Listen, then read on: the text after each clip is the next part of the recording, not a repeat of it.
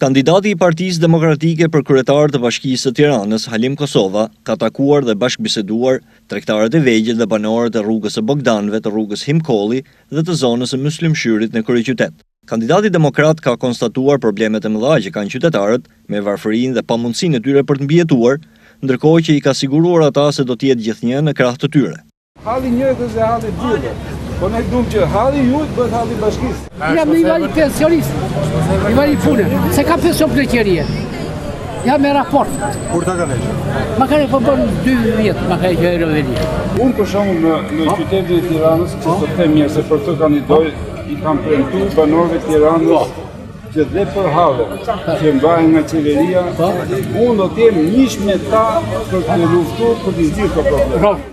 Pjesë e rëndësishme e platformës së kandidatit demokrat Halim Kosova është pikërisht shndërrimi i Bashkisë së Tiranës në shtëpinë e qytetarëve të saj, ku problemet e tyre të gjejnë zgjidhje.